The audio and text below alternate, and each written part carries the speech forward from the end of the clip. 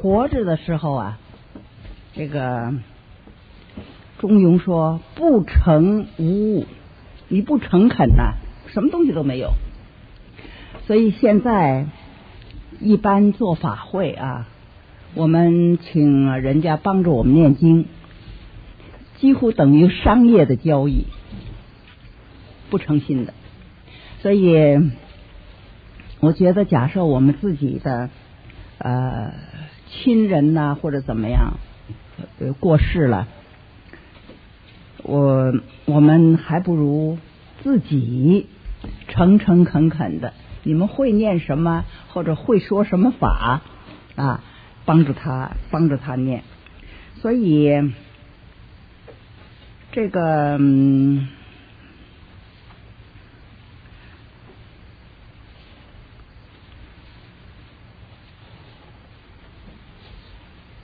假设说真有一个修行得道的人啊，他来帮助你做一个做一个超度，或者是诵经，或者是说法，那么这个力量是很大的。他这个呢，这个主要你知道，这个是为为这个修行的，主要为修行的喇嘛们写的。所以这里面呢，他常常，尤其是西藏。西藏度王经，他这里头不叫西藏度王经，他这个叫什么来着？啊，中英文叫得度，对，这个就是西藏度王经，这都是那一个翻译的不同的。郑正煌他用这个名字，那么把那个翻译的话，那个主要是为喇嘛到临死的时候就告诉他，一直的跟他说死了以后什么情形，死了什么成情形。那么他们这个师兄弟之间。或者是弟子跟那师傅之间有一种非常亲密的感觉，那么这种亲密的感觉呢，他就是诚心诚意的为他念，诚心诚意的告诉他是怎么回事情，不是我们这敲着墨鱼，这边看看那边看看。我常常看许多做法会的，我说那钱都花的很冤枉啊，没用处啊！你这个最要紧的，我们。我有两个朋友，他们过世了，家里人问我怎么办？那说是，我说你们假设你们都信佛啊，同时你们又知道，好比说念一地藏经也好，阿弥陀经也好，什么经也好，你诚心诚意的，在他还没有入殓，甚至于还没有盖棺的时候，甚至于已经在初期、二期、三期的时候，你们好好的诚心诚意的给他念一念，说一说。那么，假设说我们有一个真正有一个嗯，有一个圣者已经得道的人替我们，那当然更好。否则的话呢，我们宁可自己来念。那么你在念的时候呢，他说向诸佛祈请，他们会报答你。所以我们学佛，对于佛的信，诸佛菩萨的信仰。也是三个阶段，头一个阶段是迷信的阶段。我们觉得我们有多少罪过，只要他一帮我们度就可以了。我们只要相信他就成了。嗯，这跟所有的庙里头写的“诚则灵”，是不是？只要你诚心就灵。第二个阶段呢，你知道我们这所知障啊，就是读过点书的人，什么都不信，哪里有这些事情？这都是迷信。然后呢，你再往深一步的时候，什么人都可以影响什么人。那么，尤其是这些已经得到的，那么这些人呢，力量可以有的。尤其是我们持咒或者是读经，当你做这些事候时候，你不知不觉跟过去的已经有有道行的、有修成的人这一个。电的感住，这说不出来的，没法说出来。就跟我们好比说，亲子中间有一种感住啊，有时候夫妇中间有个感住，这个感住不可言喻的，说不出来。你就一动，心里一动，就知道怎么回事情了。所以，这对于死亡的人呢，也是这样。我们替他向不管怎么样吧，在最高阶层或者是最低阶层，就相信信者得救吧。啊，我们信他，当你信他怎么样呢？就是还是那句话，最俗的那句话：诚则灵。只要你有诚心，不诚心呢，什么都做不成。所以中庸这句话关系很大，提一个就提出诚来。我们待人处事也是一样，诚心的话，什么事都做得到；不诚心的话，没有一样东西可以说可以完成的。不成无物，没有东西可以做成。所以底下。我们看下一段的第二行，如果你真有善心，发心也纯正，然后为某个人祈祷，那么祈祷的力量将会很大。因此你要有信心。如果你深爱的人过世了，而你也以真爱和诚意为他们祈祷，你的祈祷将非常有力。所以我们旁的不要相信啊，只相信我们自己也有这个力量。那么这一些真正，我们只要这个有真正有这个心，你发心了，发心也很纯正，不是为我们自己，就是为帮助别人。那么这样子的话呢，你有了这个的话，就是你有一个不可思议的、超过我们想象力的一个愿望。所以我们常说嘛，有愿就有力，你发了这个愿了，这个力量就来了。而且这个力量呢，常常超过你所希望的东西。但是这一定要注意啊，就是说你这些希望的东西不是为自己，是为别人，为帮助别人好。我们只要抱住一个心，己欲利而利人，己欲达而达人。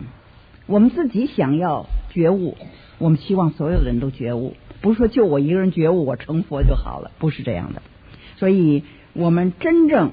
能够有这个信心，你也可以用真真爱和诚意为他们祈祷。记得真爱和诚意这两样东西有了的话，给他们祈祷，这祈祷非常有力。我们活着也一样，死了也一样。我们活着对死人也是一样。假设我们真正死了的话，我们能把这一念保持住，这个好多事情。你不能说它是迷信，就是我们我们能够用呃臆想所能够想象的东西，这些东西离不开很肤浅的，但是有一种想不到的东西，这超我们想象的、超我们意愿的、超我们希望的一些东西，就这么发生啊！这是不要不相信他啊，这个不是迷信啊。因为人跟人之间都可以有这种力量，活人对死人也有这个力量。那么已经过世的这先圣大德们，他们的力量还存在，就跟我们现在读一篇好文章，我们感动的不得了啊！我们看一句，好比说一句启发我们的话，哎，我就是想说说不出来的，他替我说了，我们这心里的欢喜想不出来的。所以这一些东西，这个都是说互相的感应，而这个感应，这个非常力量很大。我跟诸位说过嘛，那个那个基督教的试验的，一个向着同一样的东西祈祷，一个向同一样的东西诅咒，两个东西生长的程序差一倍。他们是完全用祈祷的，为什么祈祷的力量这么大？祈祷力量大，你得有真爱。你得有诚心，这两样东西缺了都不成。你即使不爱这个人，并不真爱，你只要有诚心，这诚心呢，我为你好，希望能帮助你。这个诚心一有，力量就来了。嗯哼。我们看倒数第四四行，在亡者过世的地方和过世的时间三者之间有强力的关联性。尤其是在巨大冲击或不幸状态下过世的人更是如此。对，为什么很多人，好比说这一个车祸的所在啊，很多人到那儿去做法会，因为，嗯，我们假设在这个事情发生了啊，任何不幸的死亡、不幸的发生的地点，我们会在人世间来说的话，每七天重现一次，就是说那个灾难、那个痛苦、那个事情的发生，只要你一醒，就是说你从昏迷中一醒过来，就再发现一次。所以说，能够不是意外死亡，不是被杀害，那么这个东西我们寿终正寝了啊，躺下死了，再发现哦，那很好，所有肉体的痛苦全没有了，解脱了。这种享受跟那个撞车或者是呃坐飞机或者这一些东西被人杀害，这个情形完全不同，这是安安详详的。所以这一个时间、地点，我们人活着离不开这两样嘛，是不是？一个时间，一个地方，这两个地方，一个所谓 time and space，我们离不开这个东西。然后我们人在这里面，所以这就是四度空间啊，时间、地点是长、宽、高，然后时间那个时候。那么在这个里面呢，我们不停的这个事情再发生，再发生，再发生，等于你当时死的那个痛苦永远在那儿。尤其是你假设不解脱的话，就变成厉鬼，于是就要闹鬼。于是我们就说呢，中国有个叫什么替死鬼，是不是？找替死鬼，好比掉在河里死的，他总要拉一个人下去替死，这是一个。不是那个说法，就是他那个那个东西有一种很强的力量。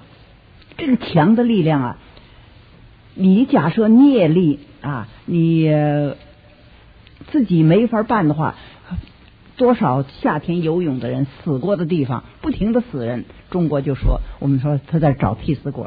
好比说上吊的人，假设说你有一念轻生，哎呀，死了算了。那么死最好的办法就上吊嘛，是不是？还得个全尸。你念头一动，那个那个东西就来了，业力相感应。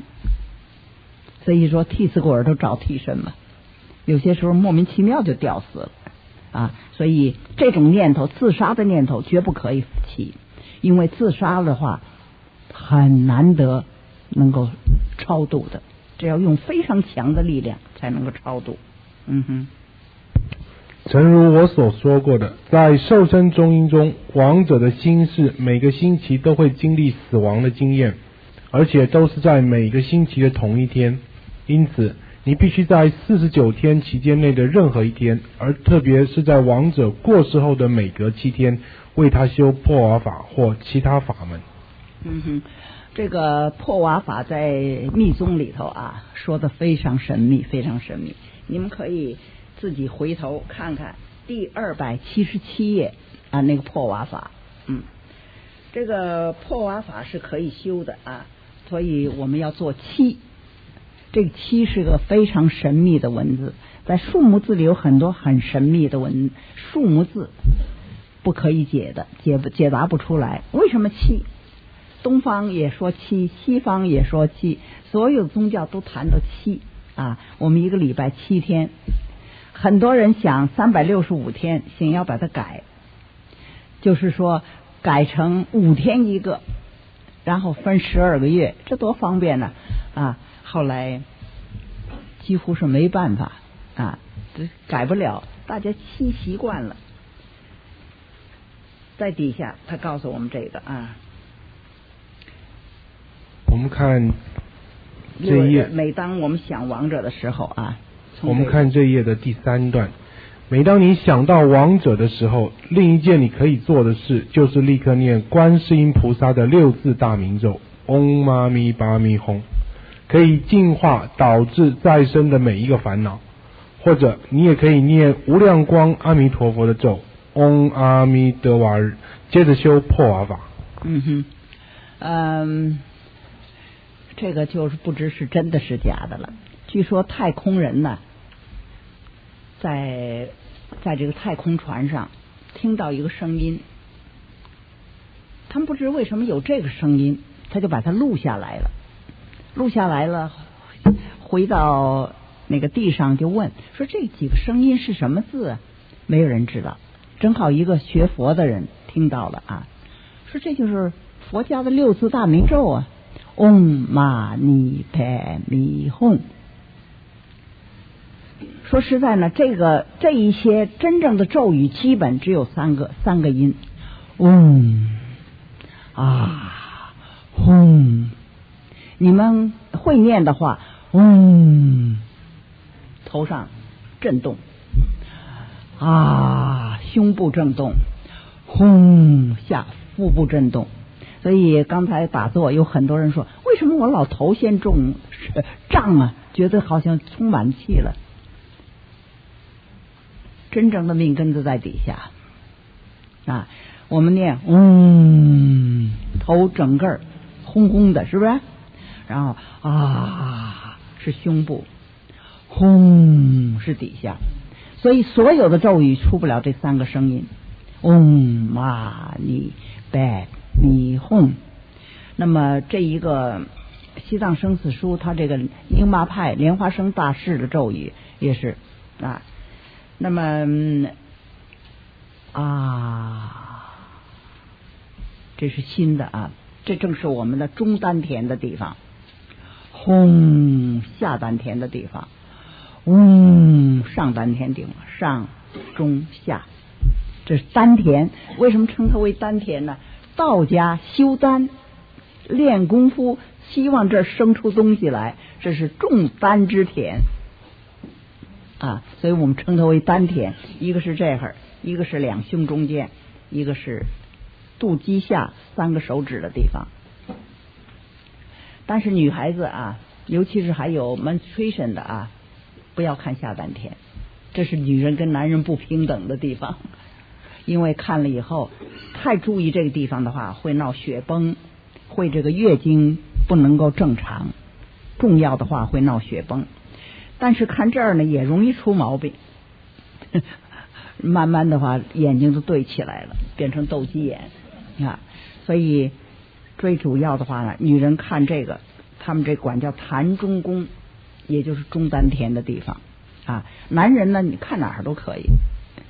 真正要发起来，生命力发起来，将来以后这还有讲的啊，都不是不是从这儿发起来的，另外有的，嗯哼。好，请看这一页的最后面倒数第二段。那些死于暴力或意外的人特别需要帮助。被谋杀者、自杀者、意外事事故死亡者或死于战争者，会很容易被他们的痛苦、怨怼或恐惧所征服。也许被拘禁在实际的死亡经验中，无法继续再生的过程。因此，你应该为他们更强力的修破瓦法。嗯哼，嗯，所以我们对于这冤死的人啊，诚心诚意的，我们告诉他不要再怨了，只有一句话，不要再怨了。我们为什么不能解脱？仇恨不能解脱。事实上呢，就像昨天我们好像问了这个问了这个问题啊。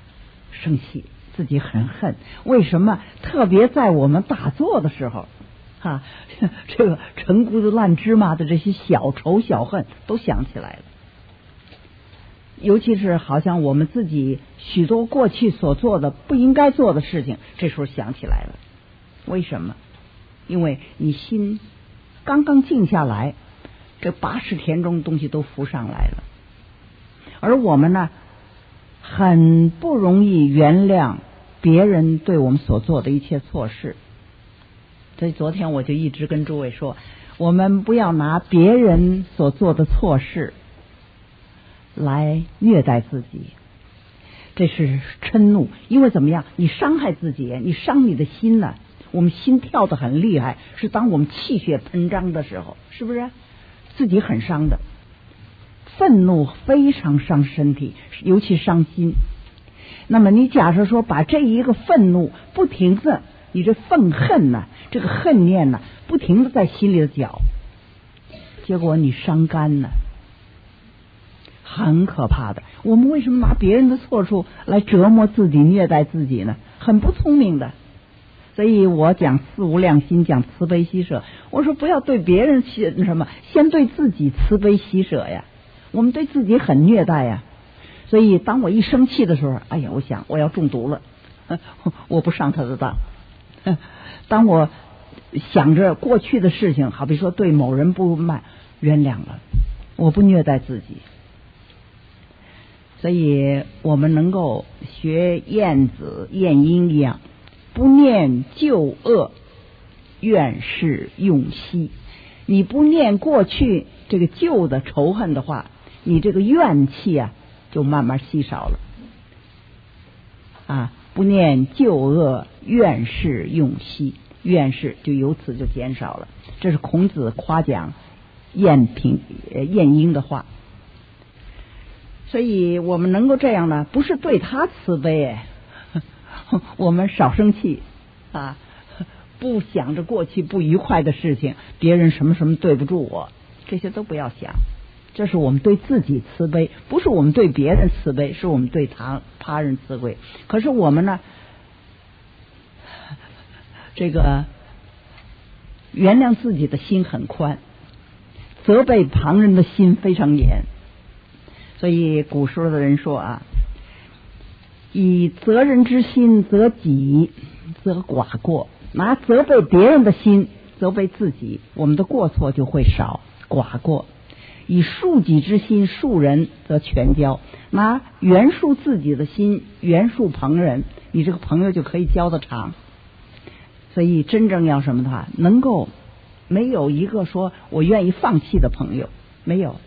这个假设说，我们拿原谅自己的心来原谅朋友，这个朋友越交越长啊。所以我们说，义者三有啊，有直、有量、有多闻，这三个才是朋友最好的。有很直，他劝你，劝你的话你听，他要劝你，敢劝你，愿意劝你，这个朋友多半是好心，他希望你好。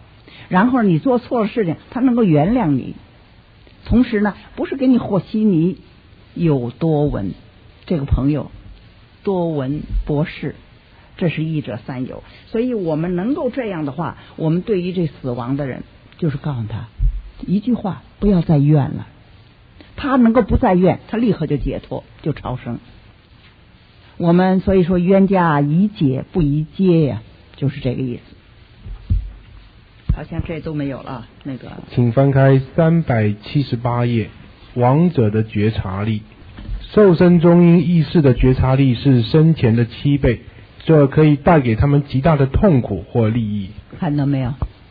我们活着的时候啊，我们的敏感，我们的想象，呃，我们对一切的这个关注，死了以后，这个力量加七倍。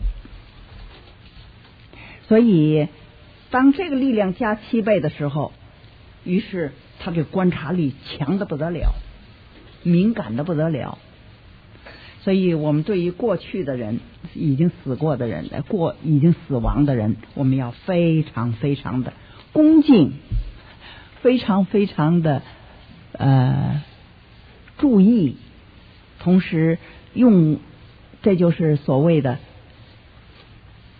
这个，也是孔子说的“祭如在”。祭神如神在，我们祭呀，就跟他在我们跟前似的。然后你祭神呢，就跟神在一样的。我们现在我看台湾做做法事啊，都是假东西。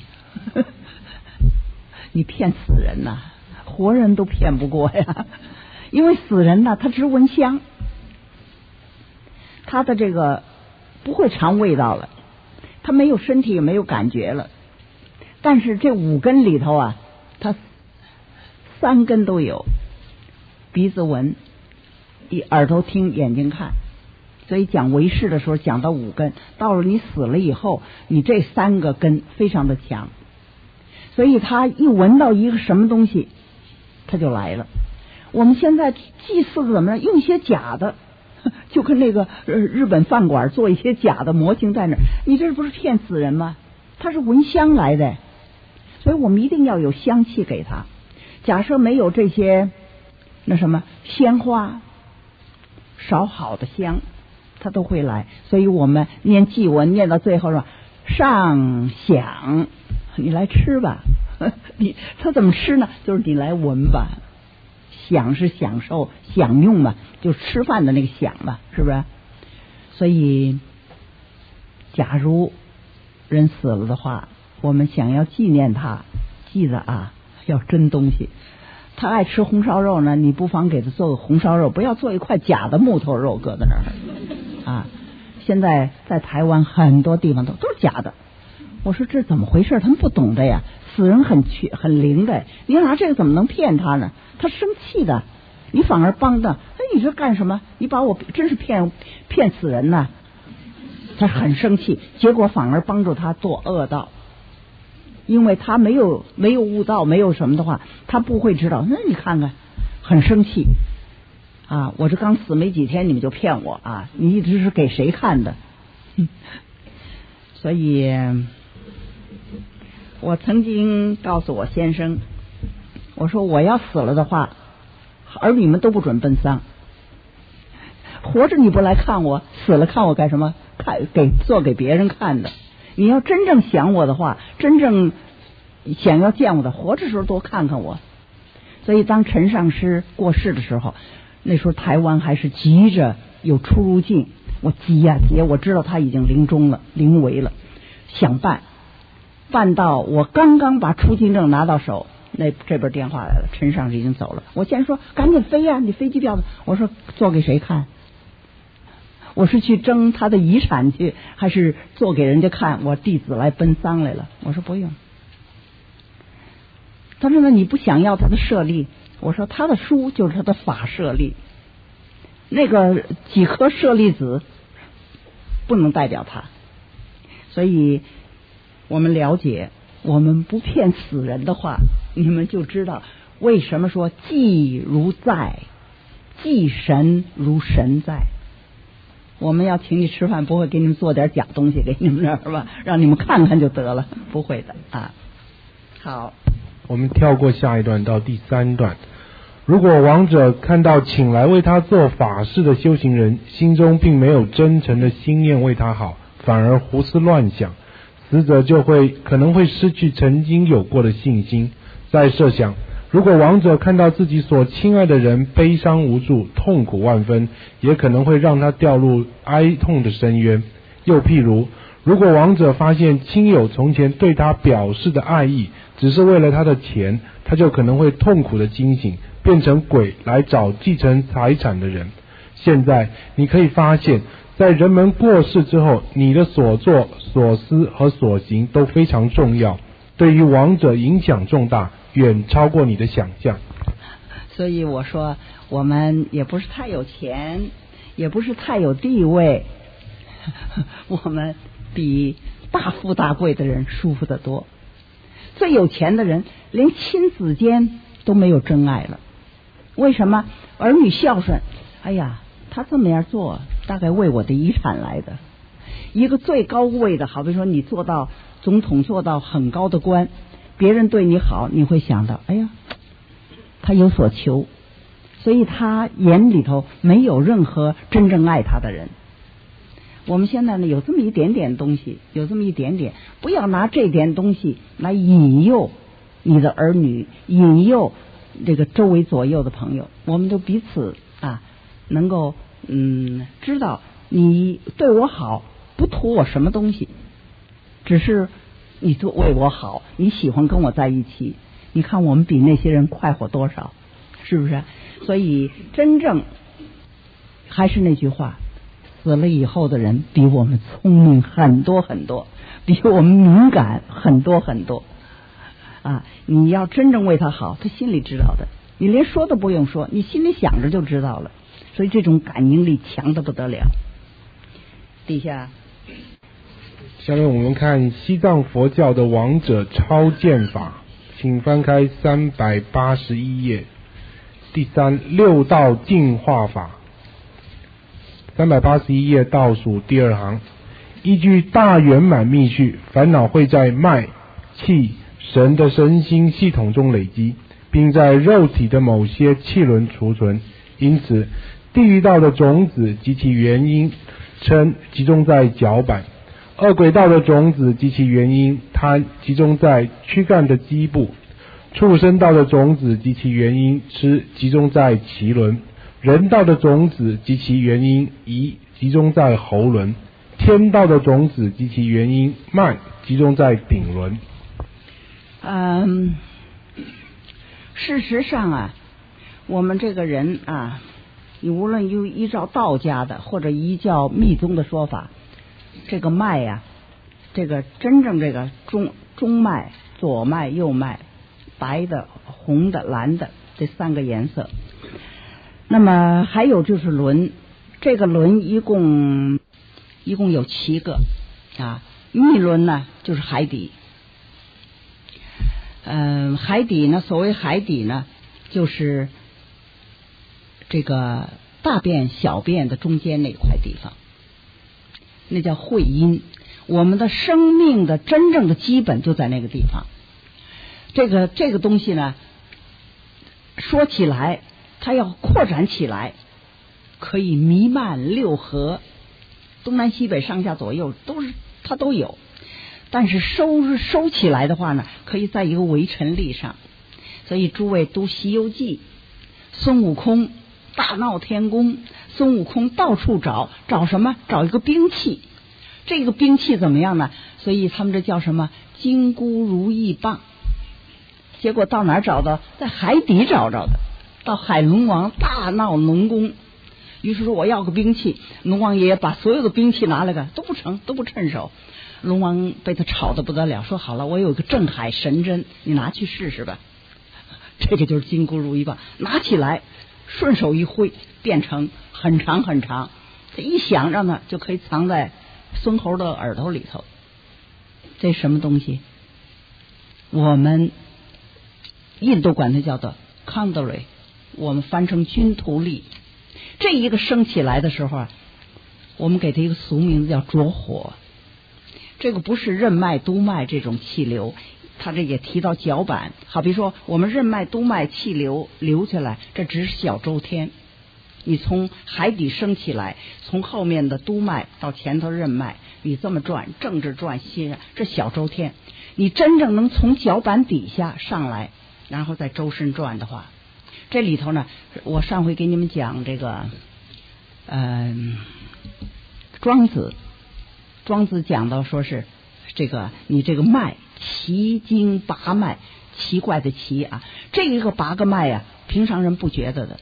你非得要自己修行，你才知道这一个嗯任脉、督脉，然后冲脉，然后左桥、右桥、左围、右围啊！你这一些东西，只有修行才会感觉出来。你即使说从海底，我们光海底不是海底，搅拌进地呀，我们叫它涌泉穴。你从这儿上来啊，绕着。这个呃嗯阴桥阴维上来转下去，转到阳桥阳维转上来，或者从阳桥阳维转上来，然后绕着这个人脉段，这叫大周天，都不是你真的东西，只是身体很浅很浅的。真正东西，你看到你的中脉，你看到它的光。当你为什么中脉平常我们看不到光强的不得了？为什么我们的烦恼线都把它缠着？所以这里也说，当你的烦恼线去掉一个，去掉一条，慢慢慢的，你的中脉你可以看到很强很强的光。那么这个轮呢？密轮、肌轮、心轮、喉轮，这个眉轮、顶轮，上面还有一个虚空轮，一共七个轮。啊，都不是说瞎话的，都确实有。你非得修行到了那会儿，你才真正感觉到。否则的话呢，这不是只有他们好像出家人修行，我们谁都可以做到。但是唯一的一个就是说，你必须把一切放下，无所求。我只是看看倒是怎么样啊，尤其是你们年纪轻的啊。能够把这心放在一个地方，就是找这个问题，就是找它到什么东西。你们也许可以都都都看得到三脉，呃，起先是小周天，后来是大周天啊。尤其是陈上师那个《曲棍斋》里头，他有一篇很有文章、很有意义的东西，《中黄都机变》，很薄很薄一册。他是告诉你中脉是什么东西，黄道是什么东西，督脉是什么东西，脊椎什么东西，好像我们就以为是脊椎的，不是的。所以好多人脊椎开刀，我一直劝，能够不开就不开呀。好比我这个东西闹了二十几年了，多少医生说我给你一开刀就治好，我说不成，我身上不准动刀子 啊，因为你不知道它开成什么样子。那么知道这个以后，我们知道什么东西都在我们自己身里头了，都在我们，都在这里面。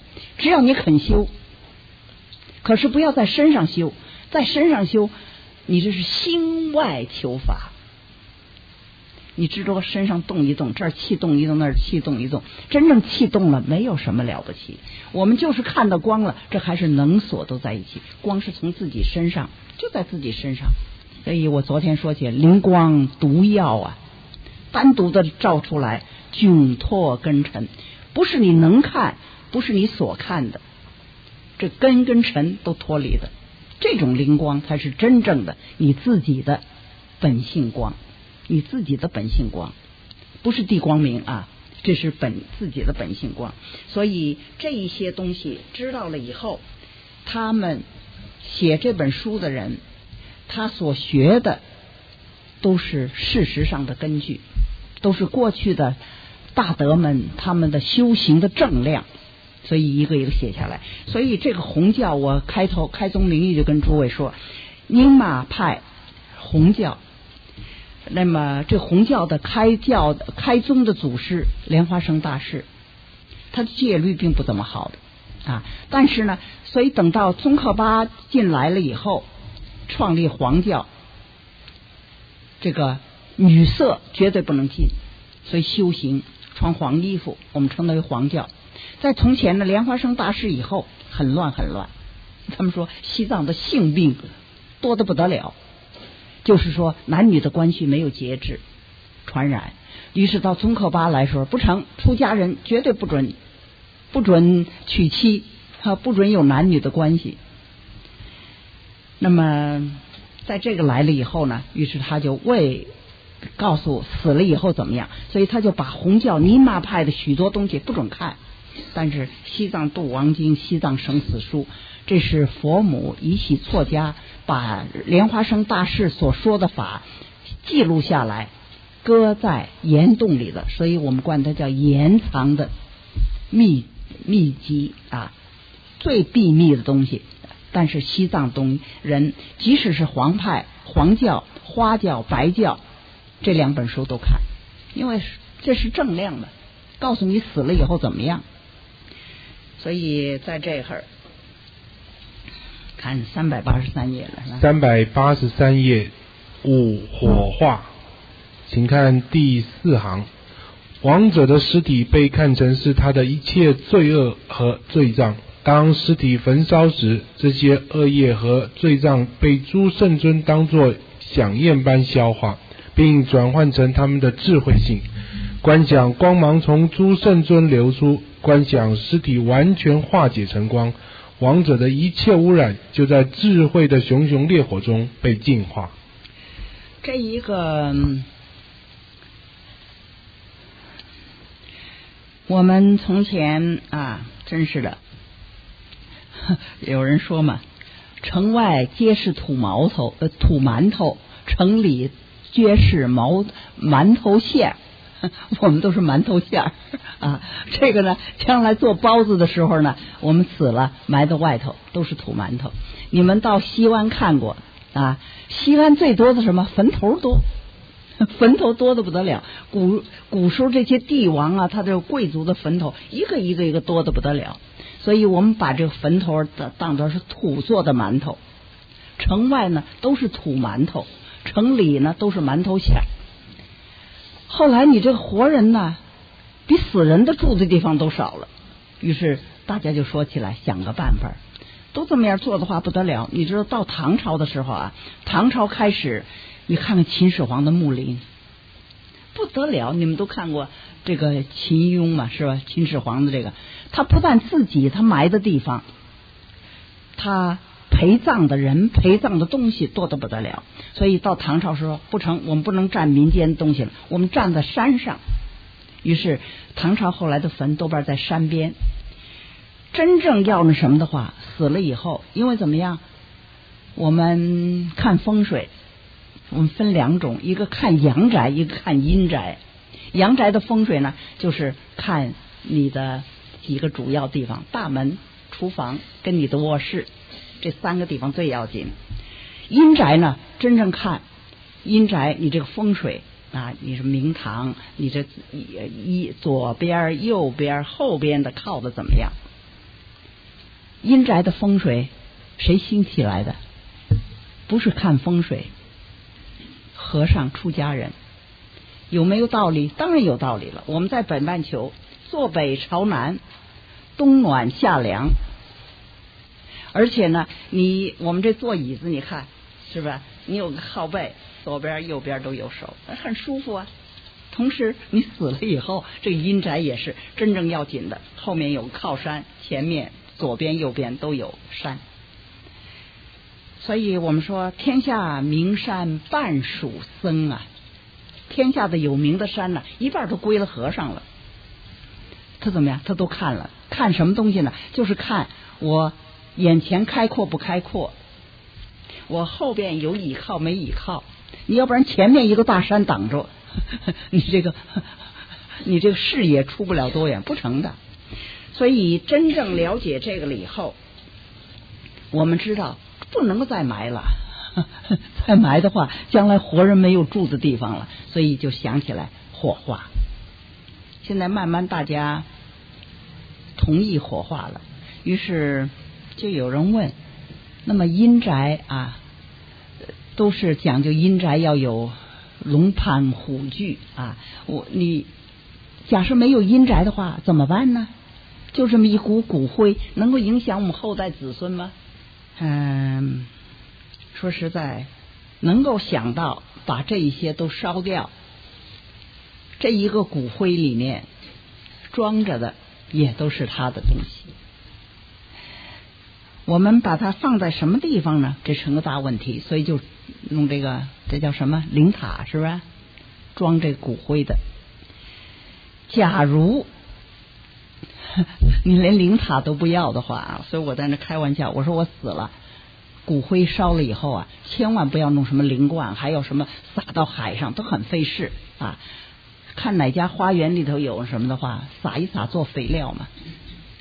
那么将来我在每一家的花园里头都有我，那么也帮助你们花草长了，这不是挺好吗？是吧？那像那些什么。周恩来啦，什么这些人，哎呦，好麻烦呐，还得坐着飞机撒到大海边。像于右任他们呢，都得要撒到台湾海甲，为的是回去啊。真正这个是我们借住的一个房子哎，到这个房子很老了，很旧了，我们得要换一个房子了。这个房子扔掉它吧。拆了以后重新来嘛，所以不必对于死后的这个东西太认真。我们真正先人对我们有影响的话，不在乎骨灰，不在乎这个坟堆，真正的是他传给我们的、教育我们的一些东西，我们能够记到，就就是很了不起了。嗯哼，请看火化这一部分的最后一段。尸体和牌位火化后的灰可以和泥土混合起来，制成小偶像，称为渣渣。用王者的名义将这些渣渣予以加持和贡献，以创造转生善道的良好姻缘。啊，是的，陈上师过世了。他在活着的时候呢，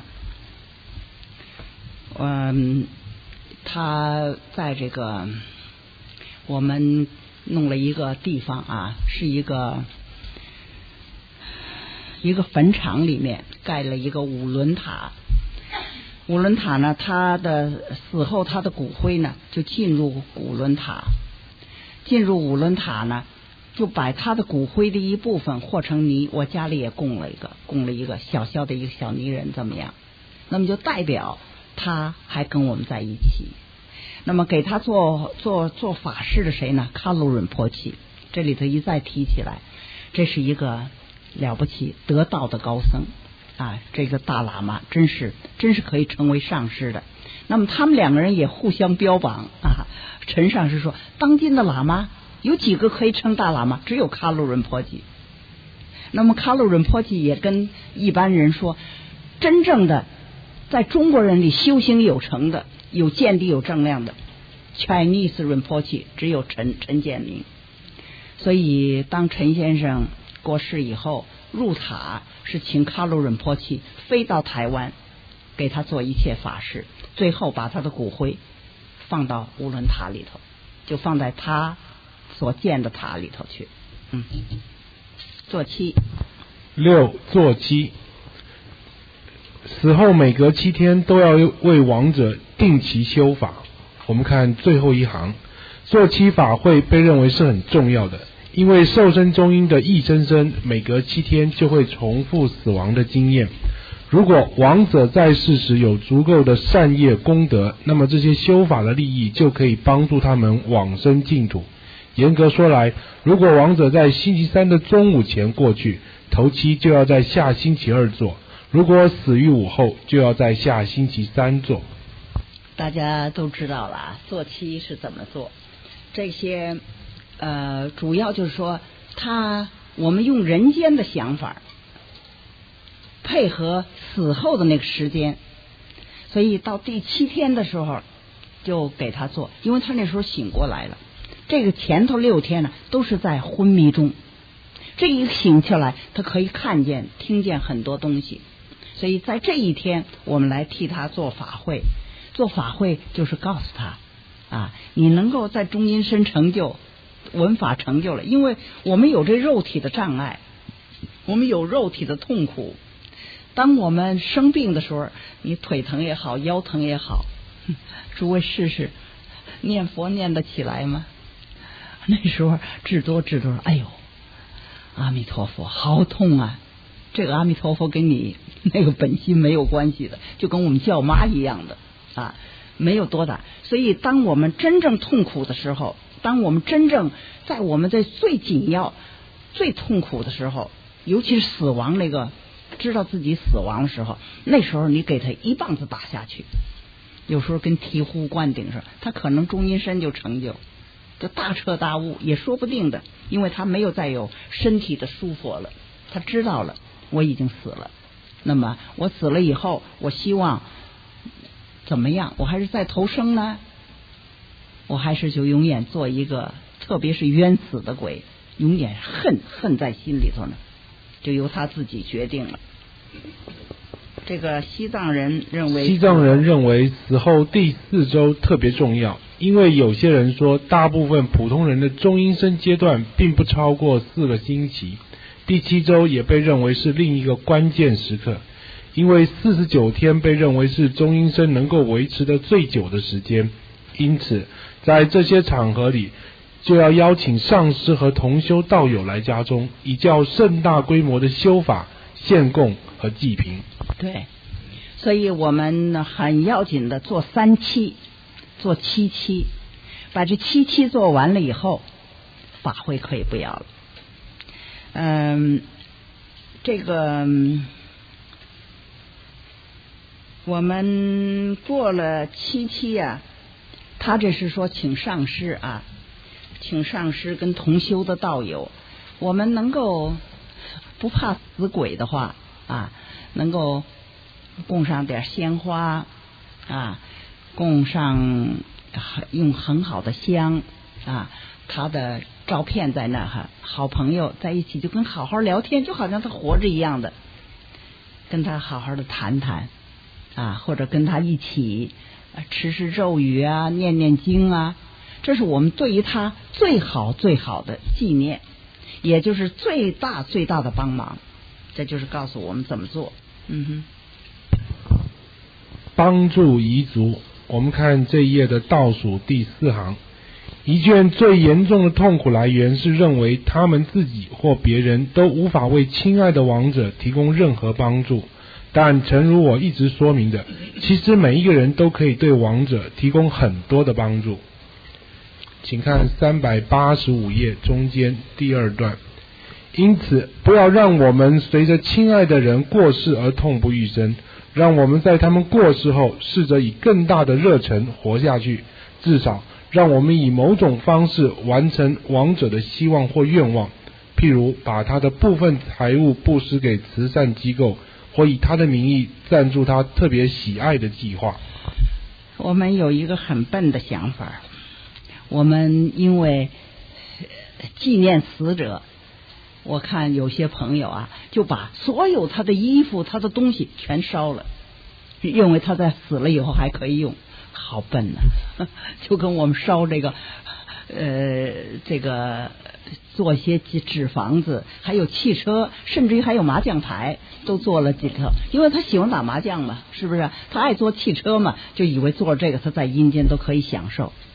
这样的话，活着是有钱的人，死了还有钱呢。那么穷人怎么办呢？不是这样的。所以最要紧、最要紧的啊，我们在我们非常悲痛的时候，我们帮助他。减轻我们的悲痛。那么他在世上，我们好比说在台湾啊，呃，有些人大概他这个死去的人很爱看脱衣舞，结果怎么样？一些花车送殡的花车跳脱衣舞，这简直匪夷所思啊！真是不能想象，怎么会有这种事情发生？所以我们啊，帮助他，可是要记得哟，这个。这个是中庸还是论语啊？说三年无改于父之志啊，可谓孝矣。我们守孝守三年，为什么守三年？因为我们三年才脱脱离了父亲母亲的抱。三岁以前都是父亲母亲抱，所以父亲母亲喂饭抱这三年，我们为了报答亲恩，我们也守孝守三年。于是这里头人就说了。说是啊，我们只要三年之内对于父亲的志向没有改变，这就是孝顺。假设父亲做贼的，父亲是贩毒的，我们是不是也不改于父之志啊？不是这样的啊，这句话，所以我们读古人书啊，呃，略微要转转脑筋啊，不能够说你只要三年不改于父。本来我是很好的人，因为父亲贩毒，所以我不能改他的志向，这叫孝，不是这样的。我们。要注意，就是说，我们把他部分的财物，他的一切布施给慈善机构，不是烧了给他。与其花很多的钱来给他做丧事，那是给人家看的，对死者没什么帮忙啊。所以在这一个东西呢，就是告诉我们，现在不是说死者的事情了，而是说我们活的人对于死者应该做些什么东西，或者以他的名义赞助。特别他喜爱的计划，所以我只是想，我要死了以后，就希望文贤书院有人接棒啊，这才真是对我的这个帮忙。不是说我要死了，人存正举，人亡正席，没了，不是这样的啊。所以这是我很大的愿望。那么，我们对于我们的亲爱的人。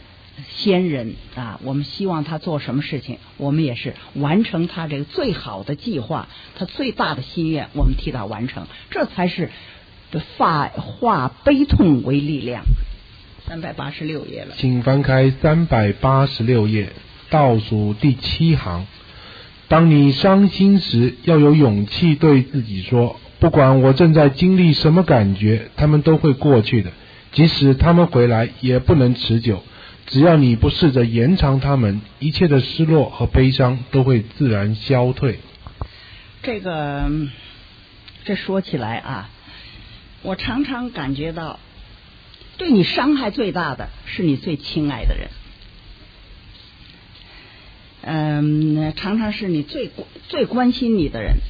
所以，我们的亲人，当我们最需要他的时候，他有时候越帮越忙。帮倒忙，嗯，所以说，你伤心的时候要有勇气对自己说：啊，我不管我经历什么感觉，这些都会过去的。真是痛不欲生，痛苦到这个地步。我告诉诸位，不出三年都会过去的。那么了解了这个那来了，我们就说，你就把他叫回来了。那他真是还了魂了，他活过来了。他能活多久？你就说他跟彭祖活八百岁，他也得死的。而且最不应该的，我现在非常反对的，所以在我的遗嘱我定了啊。假设医生说我已经不能救了，我说千万不要割喉咙、插管子、弄这些东西，因为我曾经清清楚楚的看到过。我的朋友走的时候，那个惨呐！我求他们的儿女，他们儿女瞪我眼。你当然不关心了，因为不是你的亲人，所以我就发现，最亲的人常常是最伤害你的人。他们是真正要救他呢，还是明知不能救了，而是不好意思把这个管子拔掉呢？我就不知道了。所以我的遗嘱说。当我是绝症的话，让我从从容容，让我庄严的过去，千万不要什么又插个管子，又抽痰，又这些东西。从前那古时候人咯噔一声，一口气不上来死了，多好。